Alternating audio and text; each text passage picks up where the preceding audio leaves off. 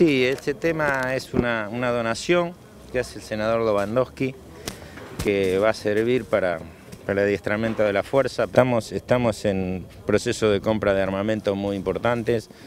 Eh, eh, municiones ya hemos comprado, 1.500 chalecos antibalas, 220 eh, camionetas ahora nos están por entregar, otros 400 patrulleros más a fin de año. Más allá de las cuestiones tecnológicas que estamos, que estamos llevando adelante en licitaciones, para mejorar las comunicaciones sobre todo y, el, equipamiento tecnológico de la policía. Queremos dar un salto de, calidad en tecnología y lo vamos a dar. Este, yo creo que todas esas adquisiciones muy importantes en tecnología y equipamiento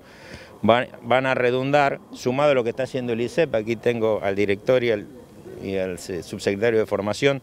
de, de nuevos hombres que se van a incorporar a fin de año, alrededor de 800, eh, estamos esperanzados en que mejore la situación en las calles y que tengamos mucha, mucha más presencia, que es lo que reclama la gente. En definitiva, uno eh, trata de colaborar eh, en, en, este caso con el tema de seguridad, que tiene diversas variables y enfoques. bueno, una de ellas es la formación de nuestros policías y indudablemente que a la escuela le hacían falta diversas cuestiones dentro de la currícula, dentro de la cuestión edilicia, los elementos y aprovechamos para una de las cuestiones que tenían que ver con el tatami, que es para la práctica de la defensa personal y demás. Y bueno, eh, como a otras tantas instituciones, en este caso del Senado, el Departamento Rosario, hemos colaborado con, con la compra del tatami para, para que tengan un elemento eh, adecuado para poder hacer los entrenamientos. Estamos acá con el senador Marcelo Lewandowski, que nos prestó colaboración con la donación de un tatami que forma parte de este, un programa que nosotros estamos llevando adelante sobre uso racional de la fuerza como parte del entrenamiento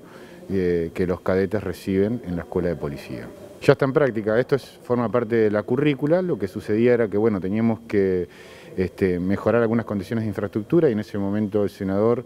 eh, se acercó a hablar con nosotros para prestar su colaboración y le dijimos que lo que necesitábamos era puntualmente un tatami y cumplió con su palabra y lo queríamos invitar que presencie un entrenamiento con el nuevo tatami.